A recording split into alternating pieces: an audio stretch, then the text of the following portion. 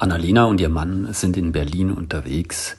Es ist Sommer, die Stimmung ist heiter, gerade wurden die Grünen abgewählt, die Ampel ist weg vom Fenster. ja, wir dürfen ein bisschen träumen, ist ja ein Witz.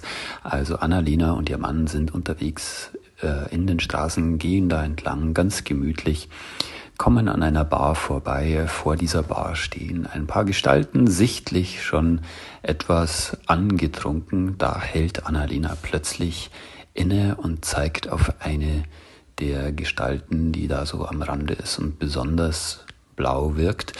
Äh, sagt, Mensch, das ist, das ist doch der Klaus, den, den kenne ich doch. Was, sagt ihr Mann, den kennst du, Klaus?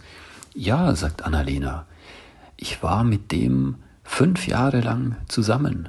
Und am Ende, der hat mir sogar einen Antrag gemacht, ganz romantisch, äh, mit, äh, ja, im Feld, hat sich hingekniet, aber ich, ich habe abgelehnt. Ich war damals einfach nicht so weit und ich bin auch froh, dass es ja mit dir jetzt so, so schön ist.